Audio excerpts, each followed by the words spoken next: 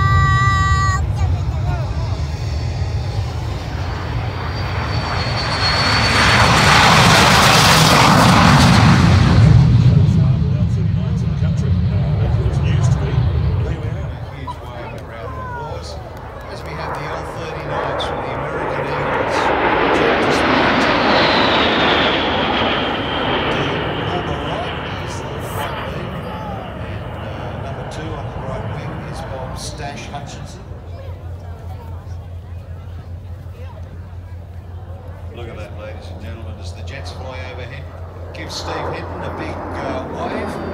That fantastic performance in the latest mosquito to fly here in New Zealand. Of course, having just built the thing and test flying it and displaying it here at Warbirds over Wanaka, the AvSpecs crew are going to get busy and when he gets back to Auckland, to Ardmore, pull it apart again. Send it off to its new way in the States.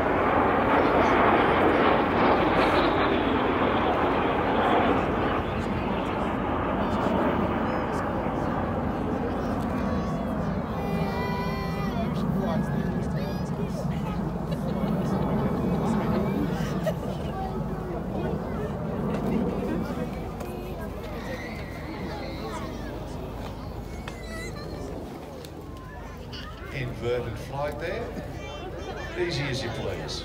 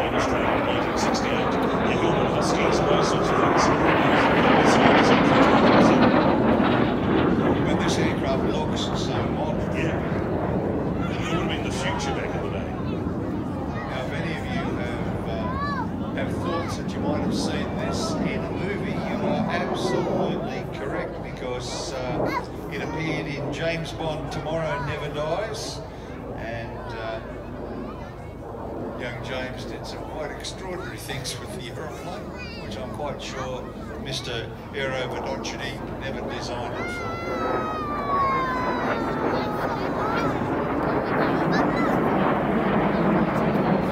That'd be one of about a million different pronunciations I've had of it. The only person that I pronounce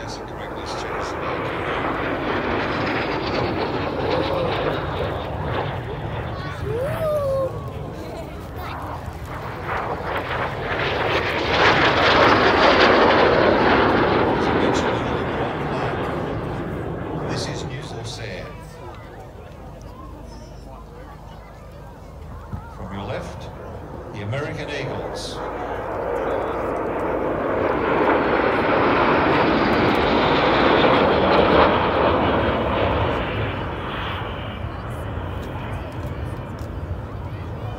The Corsair is about to take off, debuting its brand new scratch-built drop tanks, which I believe, and this wasn't a wartime feature, but I believe are chocker full of Easter eggs, spoiler wrap Easter eggs. And maybe on Sunday perhaps we'll see a drop of eggs. I don't know. This is I'm making this up as I go along. Work with me here. Yes.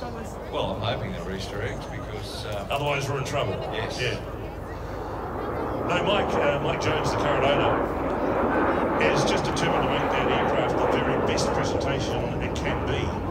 And Here it there's been all comes. sorts of uh, Here at winding up now. discussion in the background about, you know, how the scheme would pan out and what have you. All good. certainly they did with the metal ones. Beautiful shot.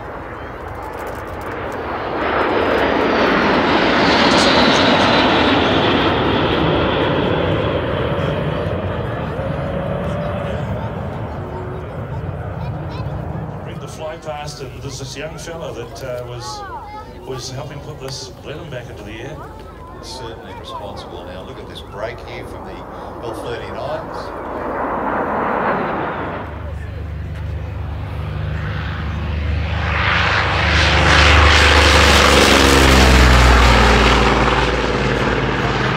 I'm trying to be the only local Corsair pilot here in the country. Uh, at the control.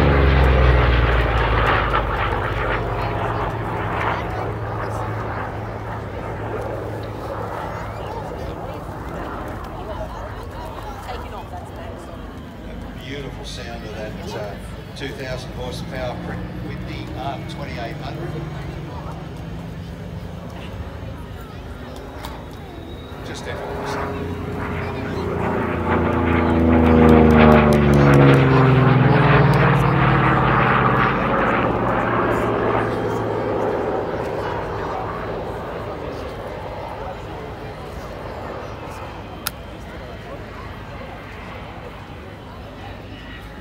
Although the first flight was in uh, 1940, the first production F4 it didn't fly until June 1942.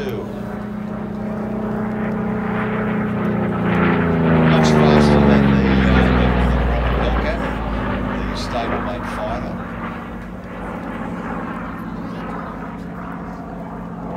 And uh, first used on operations by land-based US Marine Corps aircraft.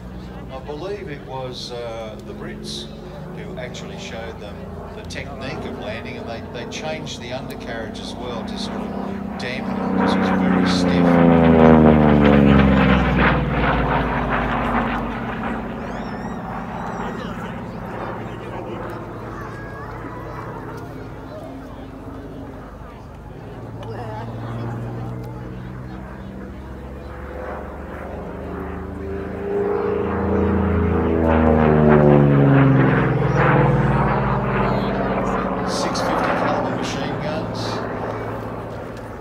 2,000 pounds of bombs, and obviously drop tanks.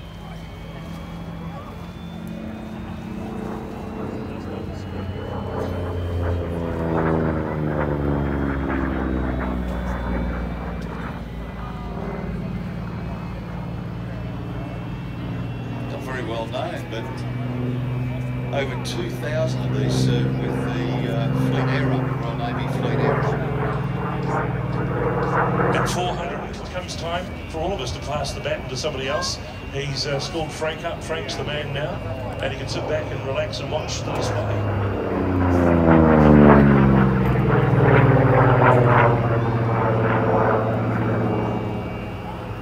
Those 400 equipped over, I think about 13 squadrons uh, in the Royal New Zealand Air Force and used with very telling effect.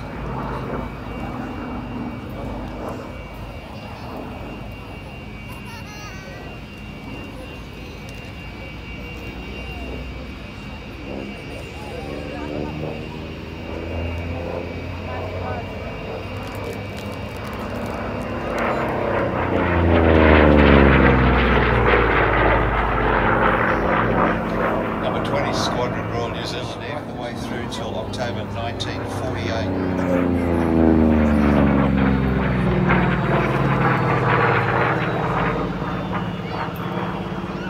so sad to know that uh, when they ceased flying operations from Bofu in Japan, right the way across the Pacific and also the British Pacific Fleet, where they had a, uh, a kill ratio of 11 to 1.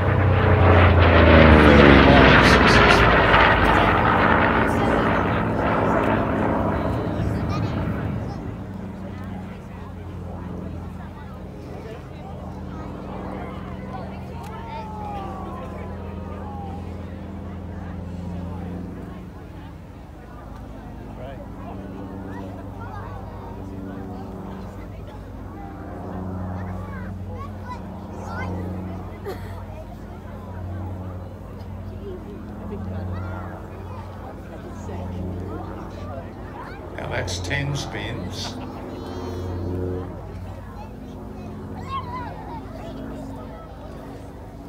If you ever watch aerobatic pilots, you just wonder how they keep situationally aware when the aircraft looks as if it's completely out of control.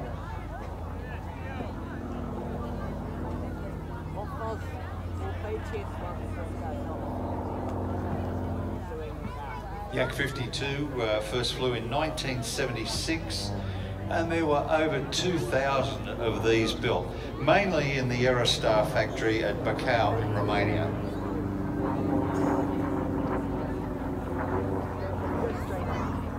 Three hundred and sixty horsepower Vedeneyev M14. It's a nine-cylinder radial engine, and uh, that's the standard form. They can also be fitted with 400 horsepower uh, variations of uh, two or three blade prop, just depending on the on the horsepower output.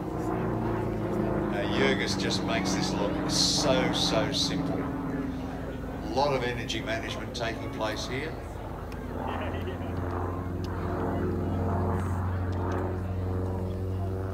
Yak 52 developed as a training and advanced level aerobatic aircraft and also used in championships. It's uh, incredible, again, designed in Russia and designed to operate in very rugged environments. In fact, it was designed for use by the Russian DOSAAF. Uh, DOSAAF, when translated, is the Volunteer Society for cooperation with the Army, Air Force and Navy. It's basically a paramilitary organisation to uh, introduce people to flying at the very early stages of military career or pre-military career.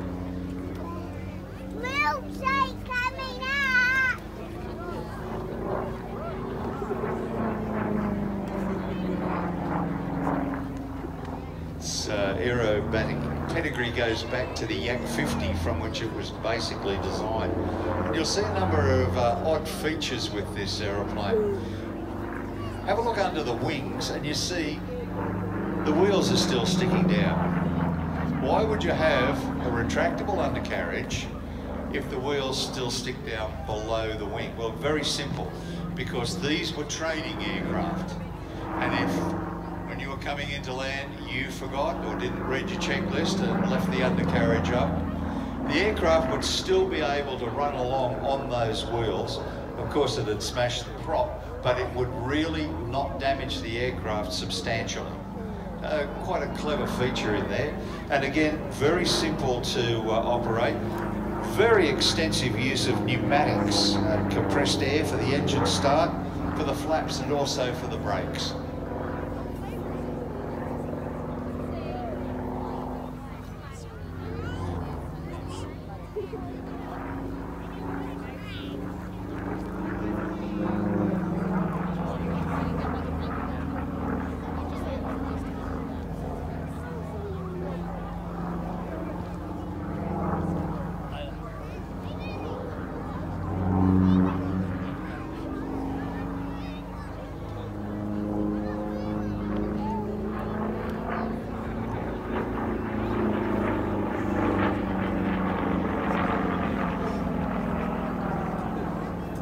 Jurgis is uh, forte has always been unlimited freestyle aerobatics, and that's allowed him to develop his quest for new flight possibilities for himself.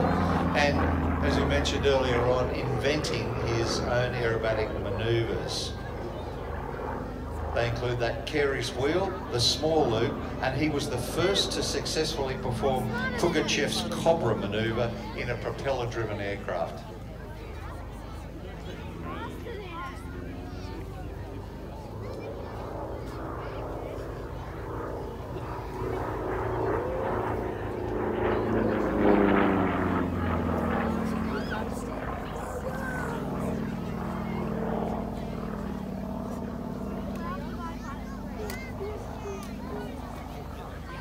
Was his help in uh, designing the Sukhoi 31. Saw that aircraft with many, many championships over quite a few years. Put his, his uh, aerodynamic experience and also his flying experience into looking for what would be the ultimate aerobatic aircraft. 52 has an inverted fuel and uh, oil system that allows the aircraft to fly inverted for uh, about two minutes. If you have a look at the wing, it is very, very flat. And uh, the wing also has a profile that's very symmetrical, so that allows it to fly well both inverted and upright.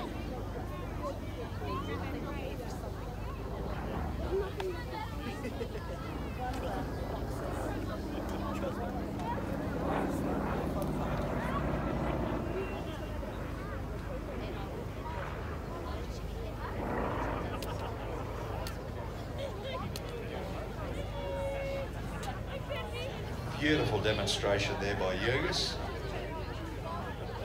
And we welcome him back here to Warbirds over Wanaka. Now that's a party trick that has been used for many, many years, disappearing down into the Clutha.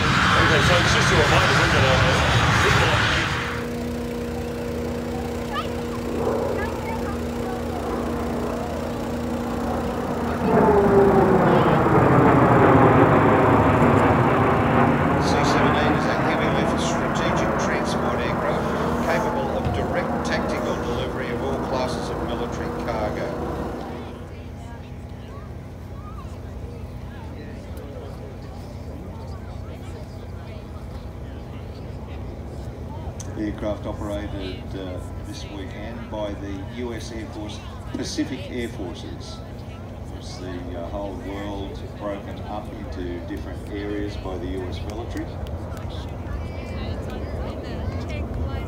aircraft has a crew of four and can carry more than 100 passengers or 54 passengers plus cargo. If you have a look, this aircraft is now coming in in what's called a configured or dirty pass.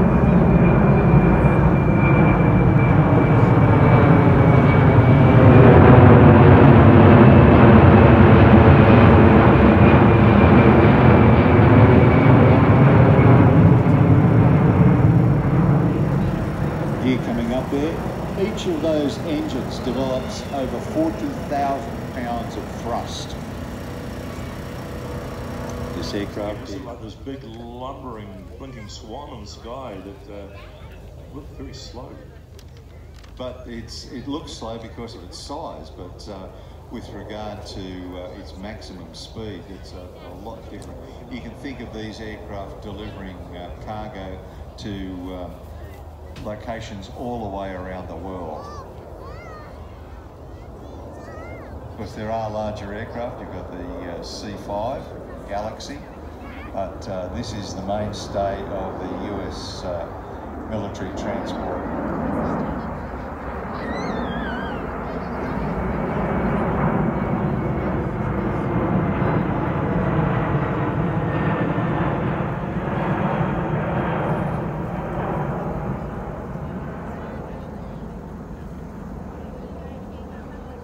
carry a variety of uh, combinations of cargo. But uh, no, it's, it's fabulous to be able to enjoy the spectacle of uh, visiting C-17 here at Warbirds over.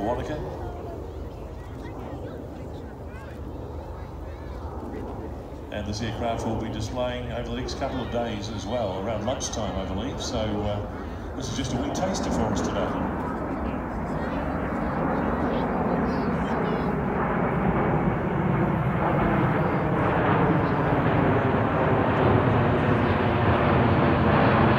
This is by no means the maximum speed of the aircraft because uh, the clean configuration uh, so you can really lift up the skirts and, uh, and run.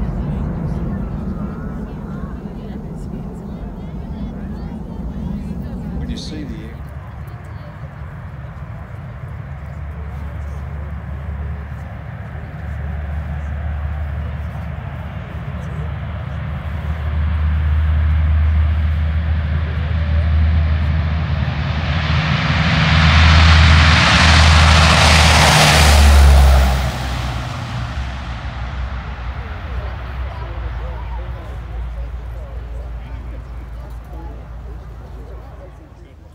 you can see where you need to go. And um, yeah, quite, quite tight stuff.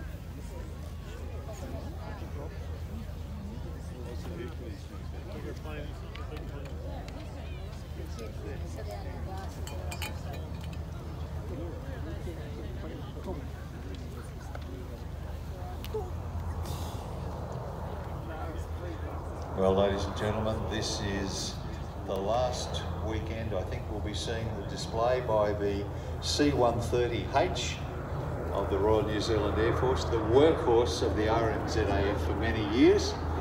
And lo and behold, That's your lunch arriving. that's my lunch arriving. That is the first time I've seen that happen here at Wanaka. I think you might be right. I, I can't recall having previously seen it, but obviously that memo got through. Looks like a big uh, cheese and onion toasted sandwich under there, Captain. That's a very large one. Now those are the islands that you uh, assist. There'll be people flying these RNZAF assets across this air show weekend here at Wanaka who came here with their parents as kids, maybe toddlers, or their first experience of aviation. Uh, was right here at Wanaka. I, I hear this all the time, I know it for a fact.